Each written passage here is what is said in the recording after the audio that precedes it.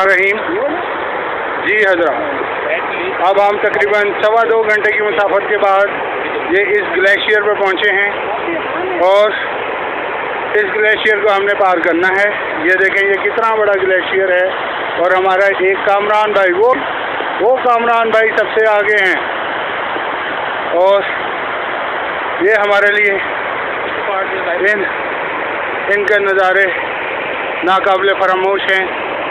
इन नज़ारों को हम कभी भूल नहीं सकते। और ये देखिए, ये हमारे जाहिद भाई हैं, जो बड़े एक्साइटेड हैं और हमें मोटिवेट कर रहे हैं। इसी तरह ये जवाद साहब जवाद साहब हाथ ला के अपने जज्बात का इजहार कर रहे हैं। और और और ये हैं हम। इन ताला हम इसी बक्सर को ज़रूर सर करेंगे इन वहाँ पर ज़रूर पहुँचे। नाज़रीन देखिए पीछे के पहाड़ जो हैं वो गायब हो चुके हैं जहाँ से हम लोगों ने अपने सफ़र का आगाज़ किया था। हम इतना आगे जो है वो निकल चुके हैं और अभी भी हमारा बहुत सफ़र बाकी है। इन कठिन मराहल से गुजर के हमने आगे जाना है अपनी मंजिल तक।